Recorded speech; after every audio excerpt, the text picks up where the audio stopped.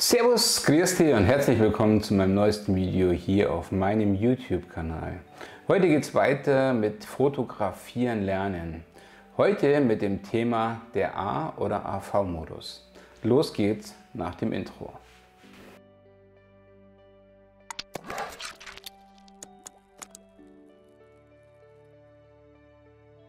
Wenn du Fotografie-Einsteiger bist, kann es gut sein, dass du im Automatikmodus fotografierst und einfach dich ein bisschen weiterentwickeln möchtest.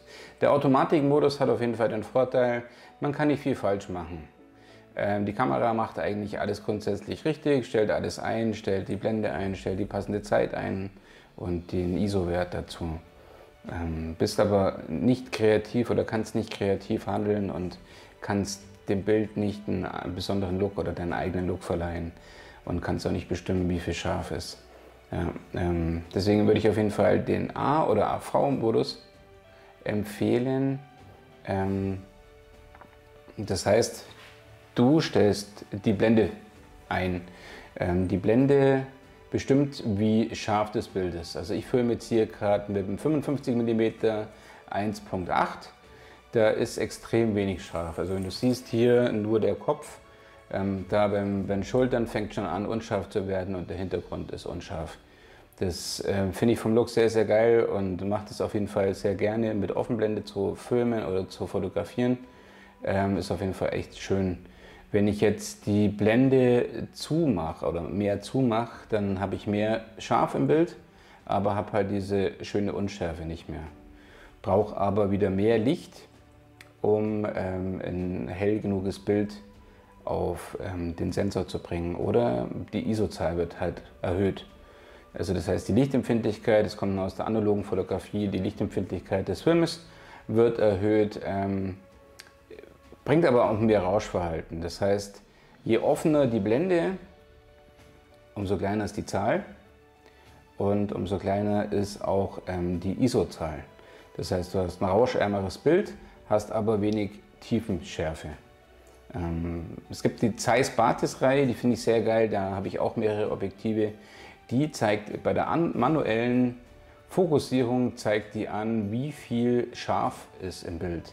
Das heißt, wenn ich jetzt irgendwie manuell irgendwie auf die Augen scharf stelle, zeigt mir das Display oben an, ähm, ich habe noch ein und zwei Zentimeter, ein bis zwei Zentimeter ähm, vor dem Fokuspunkt und ein bis zwei Zentimeter nach dem Fokuspunkt ähm, zur Verfügung oder das ist der Schärfebereich. Wenn ich die ISO-Zahl, nein, die äh, Blendenzahl da auch ändere, erhöht sich auch dieser Schärfebereich.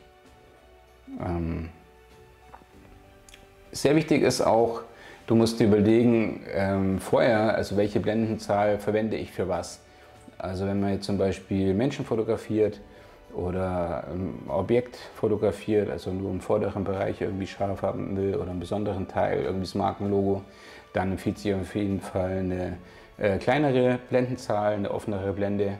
Und wenn du jetzt zum Beispiel eine Landschaft fotografierst oder ein Gebäude, dann würde ich auf jeden Fall die Blende mehr zumachen, damit du mehr Schärfe hast im Bild. Ähm, früher gab es auch diesen Spruch, wenn die Sonne lacht, nimm Blende 8.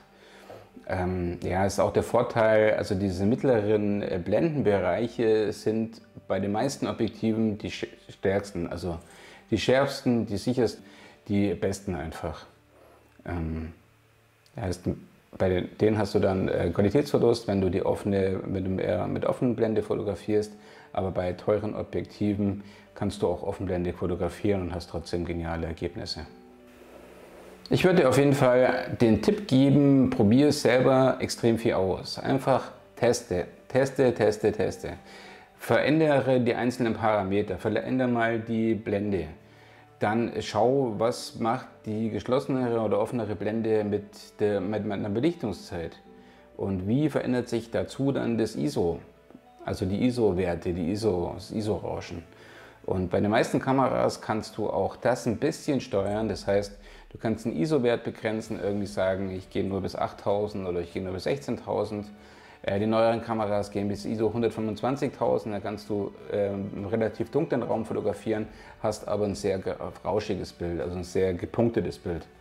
Kann für den manchen, äh, für den einen oder anderen Look vielleicht auch ganz cool sein, wenn man irgendwie dann die Kamera auf Monochrom stellt, also auf Schwarz-Weiß und da ein paar Punkte hat, kann man auch mit einer größeren ISO-Zahl fotografieren. Aber wenn dir jetzt wichtig ist, dass das Bild rauscharm ist, ja, dann darf die ISO-Zahl nicht so hoch sein. Wichtig ist auch die Belichtungszeit.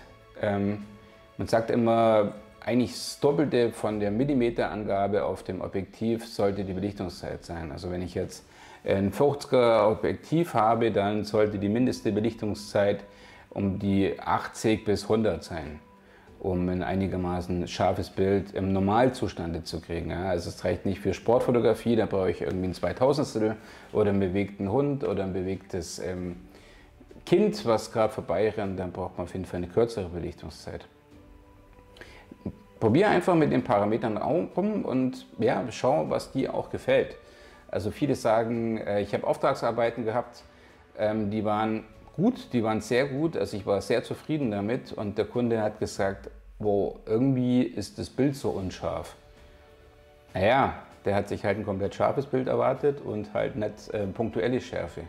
Aber es ist halt gerade dieses Können von einem Fotografen punktuell da, wo es wichtig ist, scharf zu stellen und den Rest ähm, in einem schönen, smoothen Bouquet verschwimmen zu lassen. Aber auch das ist Geschmacksfrage. Einfach ausprobieren. Äh, wir sind am Ende von dem Video. Es wird noch viele weitere geben ähm, zum Fotografieren lernen. Deswegen würde ich mich sehr freuen, wenn du meinen Kanal abonnierst und likest. Ich wünsche noch ein schönes Wochenende und bis zum nächsten Video. Ciao!